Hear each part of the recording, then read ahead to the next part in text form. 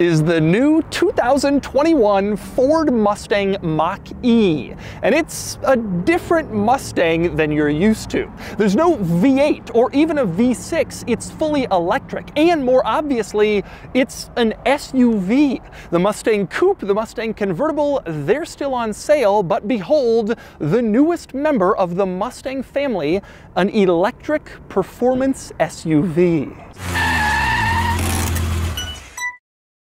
Before I get started, be sure to check out Cars and Bids, which is my new online enthusiast car auction website for cool cars from the modern era. If you're selling a cool car from the 1980s and up, Cars and Bids is the place to do it. You will get the most money and the most attention on your car. And if you're looking to buy a cool car from the modern era, we have an amazing selection with daily auctions. Check out Cars and Bids, now listed on Auto Tempest, where you can find all the cars you're looking for, including cars and bids. So let's talk Mach-E. First, the basics. There are four versions of the Mach-E. The base model starts around $41,000. It has 266 horsepower, and it'll do about 250 miles of range. The top-end version is called the GT. It has a starting price of around $61,000. It has 480 horsepower and about the same range figure. In the middle, there is a version of the Mach-E that does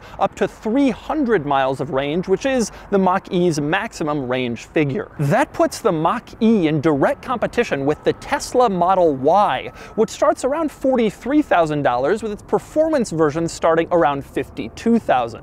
Now, the Model Y has better range, between 300 and 325 miles, and its base model is a little quicker, but the Mach-E is a serious competitor, especially in mid and top level trims with the Model Y at least on paper. But today I'm going to review this car and find out more than how it performs on paper in a minute. For now, you're probably wondering why. Why did Ford come out with an electric SUV and call it the Mustang? My theory is that the Mustang brand name is one of the strongest that Ford has. So they probably figured it was essential in fighting Tesla, which has developed such a strong brand name itself and which has become so popular in recent years. So today I'm going to review the Mach-E and we'll see how good of a challenge it really is. First, I'm going to take you on a tour of the Mach-E and show you all of its quirks and features. There are very, very many. Then I'm gonna get it out on the road and drive it, and then I'll give it a Doug score.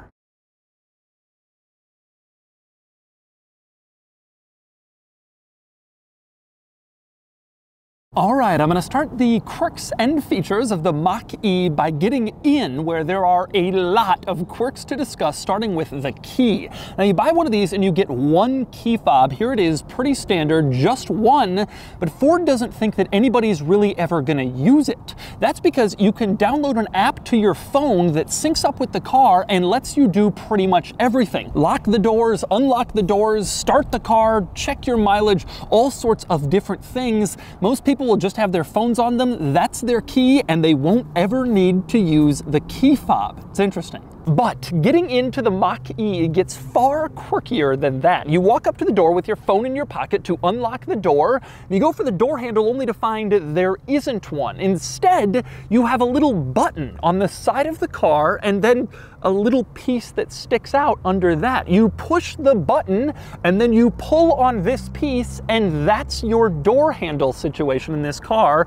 A button and like a little handle that you can pull to open the door. And it gets even quirkier still because when you push the button to open the door, you can see the door opens to this point, no further. You're supposed to pull it the rest of the way, but the quirky part is you can't close it when it's in this position. That's because when the door opens, a little kickstand comes out underneath the door to make sure that you don't accidentally open the door a little bit and then slam it and slam your fingers in the door. So it opens up an inch and doesn't allow itself to be closed. Once you open the door the rest of the way, the kickstand retreats back into the door and then you can shut it just like normal. So you open the door, you can't close it unless you open it more and then you can close it fully.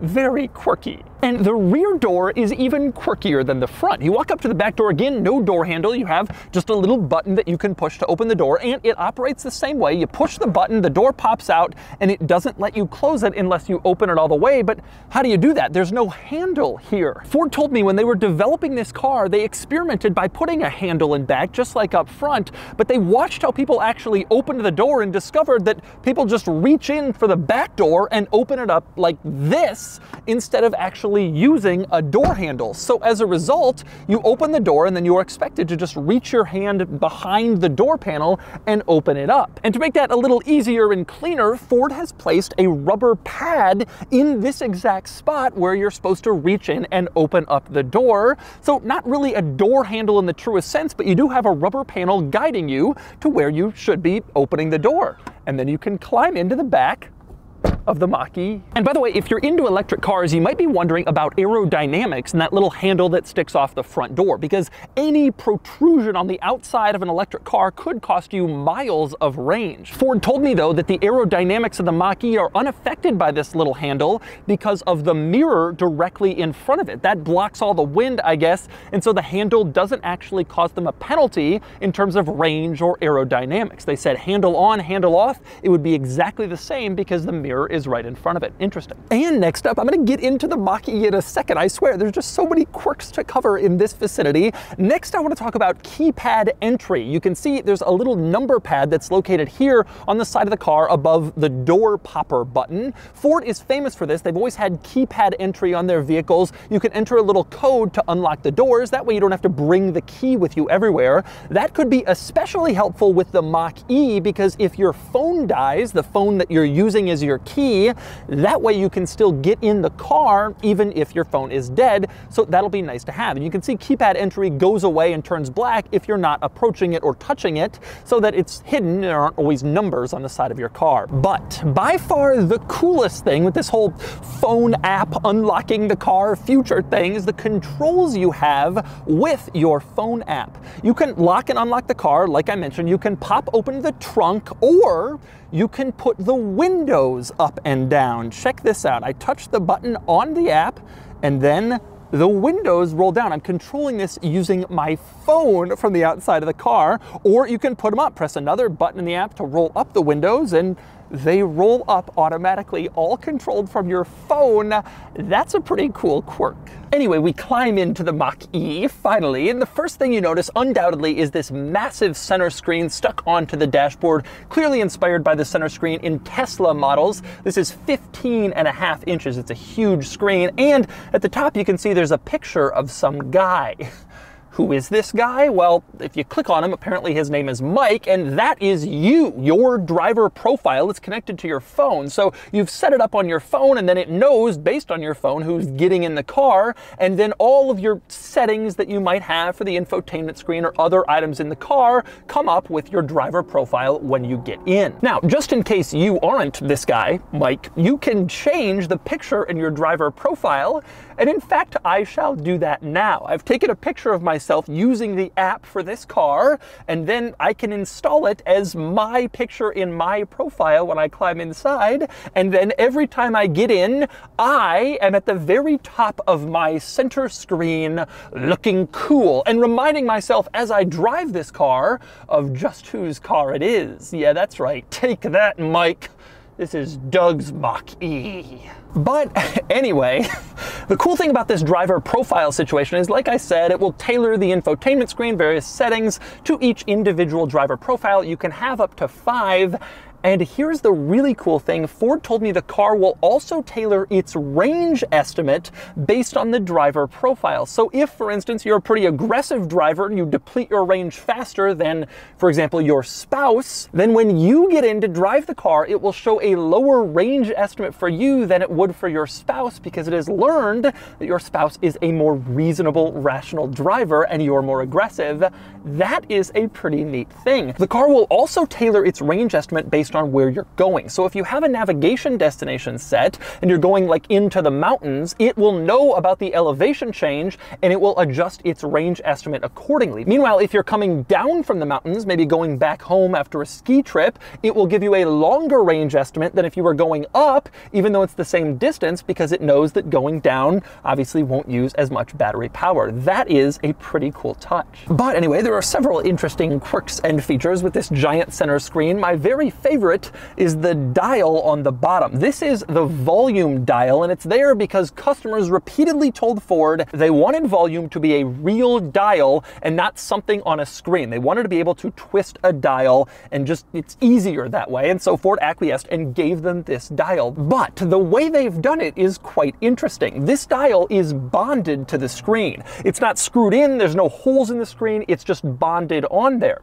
Now the screen is set to adjust when it's tapped by a finger, your fingers touching little icons on the screen. So on the back side of this dial, there are fake fingers.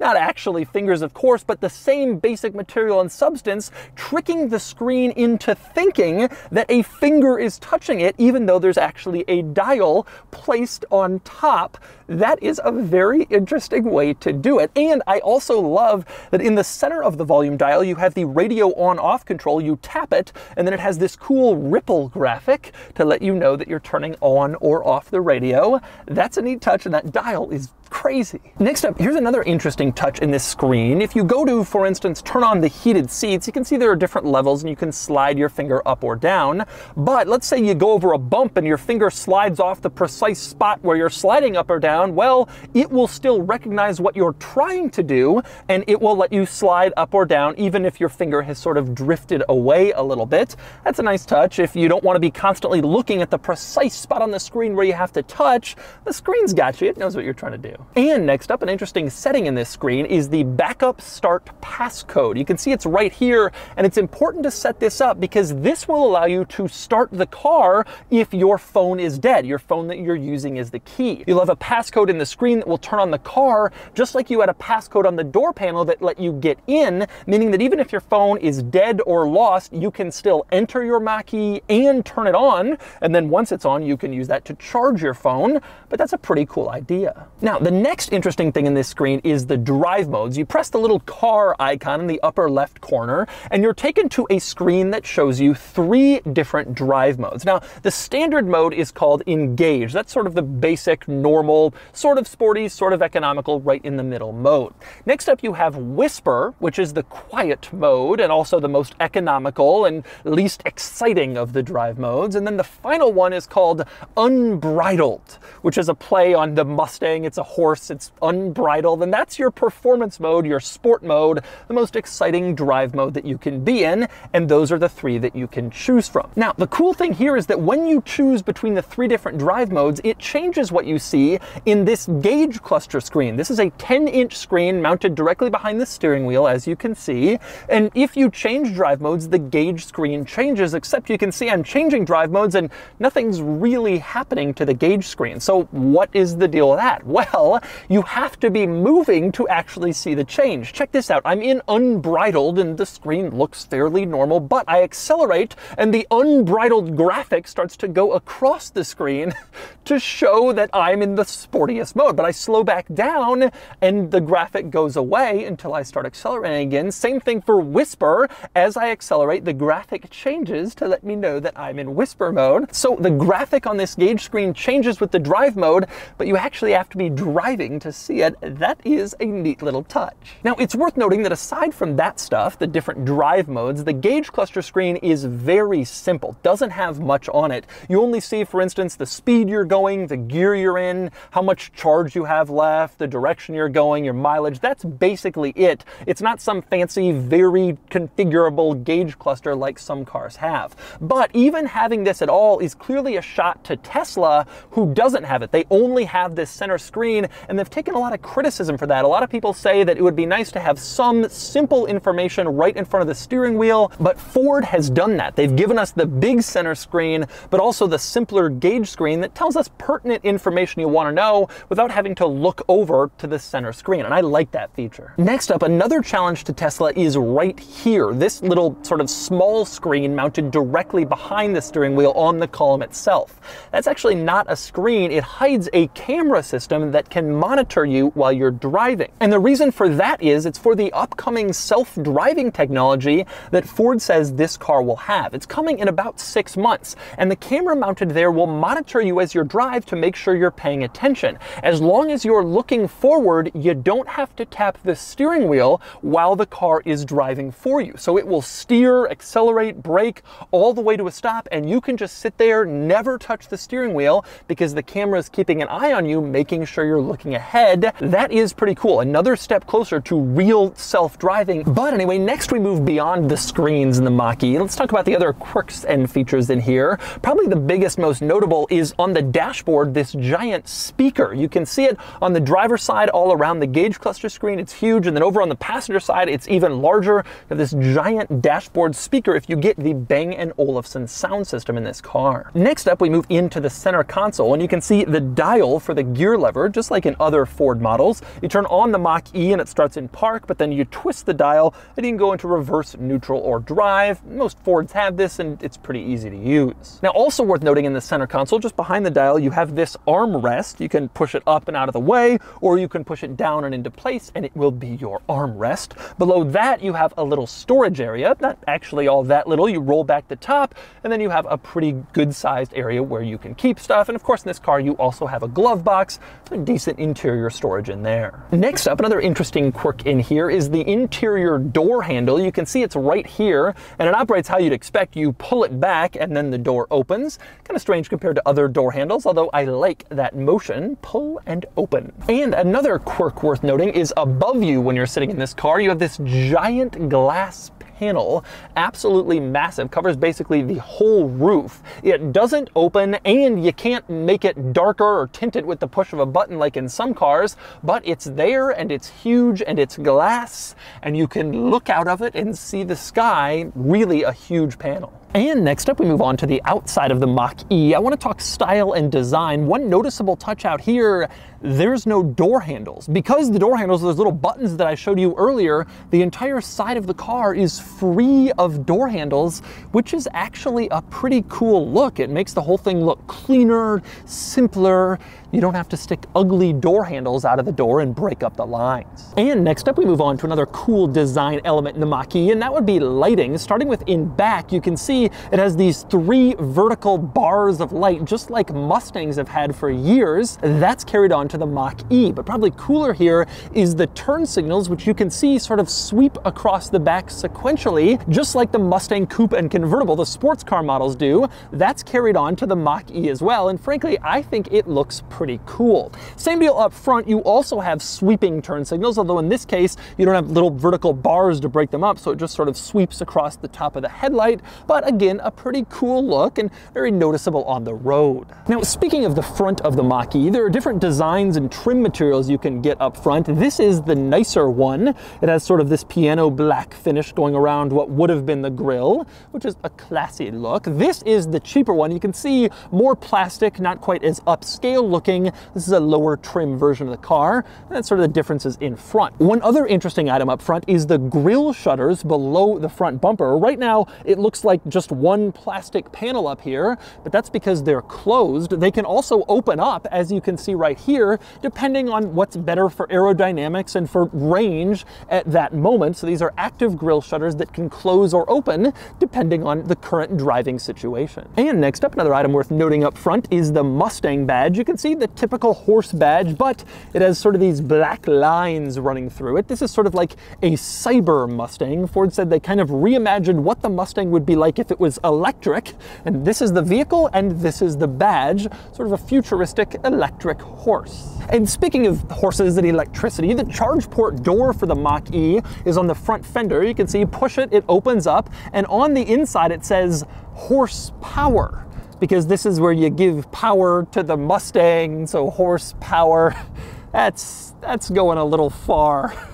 with the puns, frankly, but nonetheless, it's in there, a little quirk of the Mach-E. But anyway, next I want to talk about this car's design a little more generally because there are some important design elements worth mentioning. One is the front. Ford says a common design trait shared by all prior Mustangs has been a long front end in front of the windshield, a big long hood, and this car has it. The intent here was to kind of pull the front out a little bit to make it look a little more Mustang-ish. But a more noticeable design element on the side of this car is the roofline, which as you can see slopes down in back. Ford calls this a fastback roofline, meant to mimic the fastback Mustangs of the 1960s, and you can see very sloping down to the brake lights in back. But this is actually a bit of a visual trick because the painted part slopes down in this fastback roofline like Ford says, but the roof itself actually stays pretty flat, you can see. And the painted bit sloping down kind of conceals the fact that the roof really doesn't have a fastback design to it. Instead, it's relatively flat like a fairly normal SUV. So it looks kind of coopy, but it isn't really. And that's important to mention because it means that it's actually pretty roomy back here. When I first saw this car on the sloping roofline, I assumed I would be sitting in the back seat kind of like this with the roof like right at my head. But that little trick roof situation means that I can fully sit up in this car and I still have an inch or two before I get to the roof. And frankly, it's roomy beyond that too. The front passenger seat is where I would sit. I'm about six foot four and I'm sitting behind it no problem. My knees aren't even touching this front seat. So this is pretty good good rear seat room, especially given this vehicle's size. This is excellent packaging, and I'm impressed with how roomy it is back here. Frankly, it's roomier than vehicles that are larger and more sort of family-oriented. I'm surprised how much space you get. Now, with that said, other than the room in back, there's not much going on back here. Nothing interesting or unusual or special in the back seats of the Mach-E, except back to that glass roof. It's even more pronounced back here because you see this entire roof panel, and it just makes you feel like you're in this world of glass and openness, and it keeps things from being at all claustrophobic in the back seat. I love seeing this glass panel right above me. You can look out and see the trees and the sky and the stars, and it's a nice feeling, frankly. And next we move on to the cargo area in the Mach-E. Now to access the cargo area, I press the trunk button on my little app on my phone, hold it down, and then the tailgate opens up, and then you're in the cargo area. There's also a little popper down here you can press to open it up as well. But once you're in here, you can see it's fairly wide and fairly flat, but you are hampered a bit in terms of height if you want to put taller items in here because that sloping roofline really does start to take effect in the cargo area and it makes it a little bit smaller back here. But a couple of interesting items worth noting. One is the floor. You can see right now you have the cargo floor in position, looks fairly normal, but you can also lower this. There are two positions for this floor, so this one or you can lower it down to here and then you have a little bit more space in case case you do want to load something taller and you can't get it in because of the roof line. Now under the floor, you can see in this bag, you have the chargers that come with your Mach-E. Ford told me if you hook this up to a standard 220, 240 volt outlet, you can get about 21 additional miles of range for every hour that it's charging. Meanwhile, if you hook it up to the Ford wall charger that comes with this, that'll add about 30 miles of range for every hour of charging, a little bit faster. But either way, if you're charging at home, it's gonna be overnight to fully replenish this car's charge. One other interesting item back here is the cargo cover, which you can see is sort of soft and pliable. It like moves. The theory here apparently is you can stick all your stuff down in the cargo area, but if it starts to overload and get too tall, well, then the cargo area just sort of like bends and it still covers your stuff, even if you have a lot back here. So that's a neat idea. I guess it makes sense. And finally, we move on to the Mach-E's other storage area, and that would be up front, although frankly, it's kind of a disaster. When you walk up to this car and try to get into the front storage compartment, there's no button you can use to pop it open anywhere actually in front. So then you go to the key fob, except it doesn't have a front trunk opener button anyway, meaning that in order to open the front trunk, you gotta pull out your phone just to access this panel Only problem is there's no front trunk opener on your phone app either. Only the doors, the windows, the tailgate, not the front. The only way into this front trunk is this latch in the driver's footwell, meaning if you want to get in here, you got to walk up to the car, unlock it, open the door, pull the latch, come into the front, and then you can get in. It's a disaster. And when you go to close this, you have to close it really hard because if you don't and you only close it halfway, you can't relatch it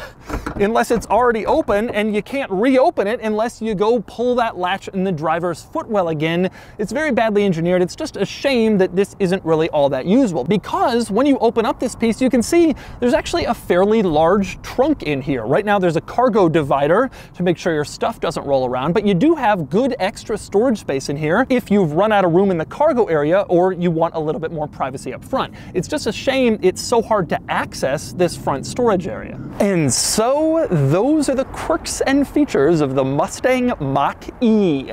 Now it's time to get it out on the road and see how it drives. All right, driving the Mach-E. I've been very excited to do this for a year now since the Mach-E first came out, and here we go. So I should mention, I took the Mach-E on an autocross course a little bit ago. I'm at a a very sanitized Ford event to drive this car, uh, and it was quite impressive, actually. I've been thinking this is an SUV. I haven't even really been thinking about its Mustang ties all that much, except that, you know, competing with Model Y, that's what I've mostly been thinking about. But they're emphasizing how sporty this is. One of the things they told me is the center of gravity is only 1.2 inches higher in the Mach E than in the regular Mustang uh, that everybody knows and loves. And that's interesting because it means, obviously, that you should be able to handle sort of similarly. And what I discovered is that's kind of true. And in fact, I was getting the tail out on this autocross course, like really kind of doing some drifting.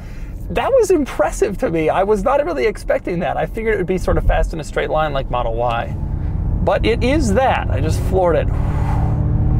So when you accelerate hard in this car, you do get a sound. You can turn it on or off, but you do get a sound like an exhaust note almost, but it's basically like you can tell, oh, I'm going fast. This is something exciting happening. Now, just like with the Model Y and the Model 3, I'm pretty impressed with the way that this car steers. steering is very precise, very easy, little movements do a lot. One thing I'm more impressed with this car about is the way that it handles. So in other words, the way it actually goes around corner, the body, the way it feels, and it's pretty good. It's better than the, the Teslas. There's no question about it. Certainly better than the Model Y. It feels honestly a little sports car like. I hesitate to say it because I don't want to play into any marketing or PR stuff, but I'm surprised by how kind of sporty it actually feels. You're driving it, you accelerate hard, it feels I mean, it's really quick to accelerate, no question about that. But then you come to a corner, I mean, it's it's quick. It goes through a corner very fast and very excitingly. I haven't seen this level of sort of EV handling since I liked the BMW i8. Everyone else hates it, but I always thought it was like the one electric car that proved to me that electric cars don't have to suck. And that car handles well, no matter whether you like it or not. It's, it clearly does. This is kind of on that level, except it almost feels weightier, uh, which is a quality that I like in a, in a sportier car. I'm surprised to say it, but I actually like, really like this car.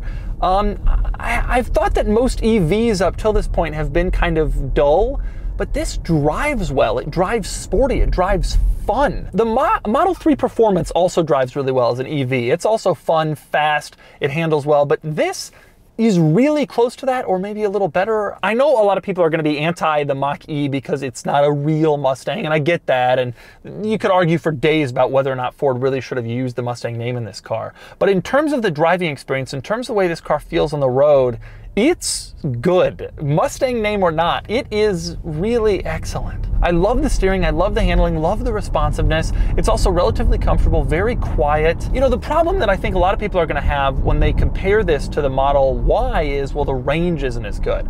But I think the reality for most people is whether the range is, you know, 250 miles or 300 miles, a lot of people don't even come close to driving that distance in a day or even a few days anyway, so it doesn't really matter all that much. The question then starts to become if you don't really care about 250 to 300 or 325, whatever, you know, which one actually is the better car, which has the better tech, which drives better, which looks better. And I think that the Mustang makes some huge inroads on Tesla in a lot of these ways. Uh, I think this is a better looking car. I think the Model Y looks weird. Um, this certainly drives better than Model Y from a handling perspective, although I think the base model is not as fast, but the performance one is the same. And as for the tech, I mean, I hate to tell you this, Tesla people, I know I'm going to get a lot of flack, but this Ford system is really excellent. And you get a gauge cluster screen in the center that you can look right down on as opposed to having to look into the center to see what speed you're going. And you get a real volume dial um, in addition to the one on the steering wheel like Tesla has. Now, you don't have Tesla's supercharging network. That's important to point out. But Ford, with the app that I showed you earlier, which they called like Ford Pass or something, you do get access to see Ford's network. And Ford is partnered with, I guess, one or two EV charging companies. It doesn't really matter. They're, they're all in the Ford app. So you can see what's compatible, what's in your network, in the Ford network, and what isn't, and where you can charge. And it shows you like the rating of the charging station. It even shows you in the app photos of the charging station. So you don't have to like drive around a parking lot trying to find it. It shows you photos that users have taken, like showing you kind of where it is. Overall, I gotta say, I'm really impressed with this car. Up until a couple hours ago when I started driving this car, I probably would have said that Tesla still makes by far the very best EVs, no question about it. This, I think, is the first really tight competitor, assuming that Ford rolls out its self-driving program like they say they will. That's important to keep in mind. That's delayed six months. It won't change lanes for you, they say, but it will do everything else, and you don't have to tap the steering wheel. And frankly, I would trade the lane changes for the steering wheel. Teslas, you still do have to tap the wheel. But overall, I would say that this car is really, really impressive. And the first, like, really, really close Tesla Challenger, aside from probably Porsche Taycan, which is on a totally different price bracket. This is one that meets Tesla at its dollar value where it is and kind of comes with all the goods. And I think this is an excellent car, and I hope it does well. It certainly deserves to. Um, I'm impressed. Just as I'm impressed with Model Y and Model 3, two of my very favorite cars, this is an excellent vehicle as well. And so that's the 2021 Ford Mustang Mach-E. This is a credible challenger to the Tesla Model Y, and I think the Mach-E actually has some advantages. I think the interior is nicer, the tech is a little bit better, and I think it looks better, but it does have some disadvantages too, like the range and the performance for the price. Still, this is an excellent vehicle, and it's very different from every other Mustang we've ever known known. And now it's time to give the Mach-E a Doug score. Starting with the weekend categories and styling, I think the Mach-E looks nice, not beautiful, but it's an attractive take on the typical EV shape, and it gets a 6 out of 10. Acceleration, I drove the premium model with around 350 horsepower, which does 0 to 60 in 4.8 seconds, so it gets a 6 out of 10. The GT model, which is faster, is coming soon. Handling is surprisingly excellent for a vehicle like this, however, it's still an SUV, and it gets a 5 out of 10, but I debated bumping this up to a 6 for a long time. Fun factor is good between the acceleration and the steering and the handling, and it gets a 6 out of 10. Again, I'm excited to try out the GT to see if this score can improve. Cool factor, I think this car is cool, but the blowback from using the Mustang name has alienated it with some car enthusiasts, which harms things a bit, and it gets a 5 out of 10 for a total weekend score of 28 out of 50. Next up are the daily categories and features. The Mach-E is loaded with a lot of great tech, but it falls short of Tesla on self-driving, which gives it an 8 out of 10. However, Ford says that's coming soon, which would bump up this score. Comfort is normal for this segment, and it gets a 7 out of 10. Quality is excellent, certainly better than Tesla, and it gets a 7 out of 10. Practicality is great between the interior room, the cargo space, and the electricness, and it gets a 9 out of 10. Finally, value, and I think this is fine. Given the price and the performance level, I feel like the range should be a bit higher to come closer to Tesla. It gets a 6 out of 10 for a total daily score of 37 out of 50. Added up, and the Doug score is 65 out of 100, which places it here against rivals. It falls below the Model Y and Model 3 performance, but it's not a direct comparison with the Mach-E Premium I drove. The upcoming Mach-E GT should be the closest rival to those Tesla models. And you'll notice the entire difference in score is made up in acceleration, three points, which the GT should overcome. The Mach-E really is the first ultra-credible, affordable Tesla competitor, and I think many drivers will prefer the Ford.